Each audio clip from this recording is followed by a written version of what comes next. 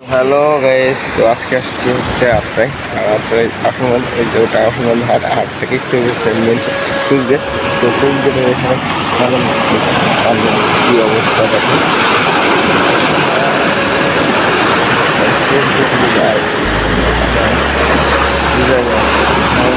অবস্থা? যাক আল্লাহ করে করুক তো আমি গেছিলাম হচ্ছে আমার বড় বোনের বাড়িতে। তো বড় বোনের বাড়ি থেকে আসার পথে তো দেখতেছি বন্যা পানিতে অবস্থা তো খুবই খারাপ। তো আসার পথে ভাবলাম যে একটু ভিডিও করেই নিয়ে যাই। তো দেখতে ভালো লাগল, তো ভিডিওটা করে ফেললাম। তো দেখতেছি যে এক পারে বন্যা তো ফুল, আর এই পাশে তো কেমন পানি হইতেছে দেখতেই পাইতেছেন সবাই। তো পরে ওখান থেকে গেলাম, হচ্ছে পাটলে গেছিলাম তো ওটা ভিডিও পরে একদিন দেবো ইনশাল্লাহ। তো এখানের যে অবস্থা, দেখেন, এখন তো তাও বর্তমানে বন্যার পানি কম।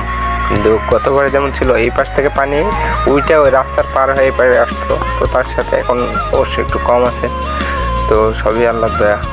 তো আল্লাহ ইনশাল্লাহ হয়তো সামনে ওর থেকে আরও কম হয়ে যাবে। দেখেন, এবং সবাই উপভোগ করেন। আর অবশ্যই দোয়া করবেন আমার জন্য, এবং এই বন্যাতে কবলিত যে এলাকাগুলো এলাকা আছে, সেগুলো সবার জন্য।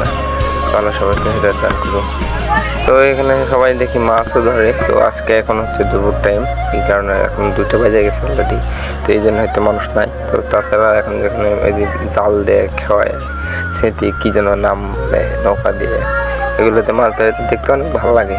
তো ইচ্ছা হলে আপনারা একদিন আসতে পারেন। তো এই নদীর পানিতে অনেকজন মাছ ধরে। আমি দেখছি অনেক সময় শোল, বোয়াল, মাগুর, চেংড়ি কানস অনেক মাছই ধরে। তো আমি কখনো ধরি নাই বাট আসলে দেখতে অনেক ভালো লাগে। তো আজকে তার ভিতরে হচ্ছে, আজকে হচ্ছে বৃহস্পতিবার। তো আজকে হচ্ছে আমার আসামগঞ্জ হাটে আমাদের হচ্ছে হাট বসে এই কারণে হাটের দিনে জ্যাম হয় অনেক। এই কারণে ওখানে থাকা সম্ভব হচ্ছে না। তো তাড়াতাড়ি ওই জন্য দুপুর টাইমে বেরিয়েছি। আর এই যে এটা হচ্ছে আমাদের আটটায় আউসগঞ্জ আটটায় হচ্ছে নতুন বেলি ব্রিজের নিচে পানির অবস্থা।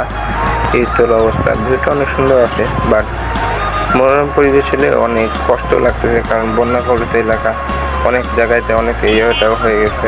বন্যায় তো সিলেটের অবস্থা কি দেখতেই পাইতেছেন। যাক, ভিউটা অনেক এইখানে যদি কোনো মানুষ পড়ে, তার কী অবস্থা হতে পারে? তো তার তো জীবন পুরোটাই শেষ। তো কিছুই বলার নাই।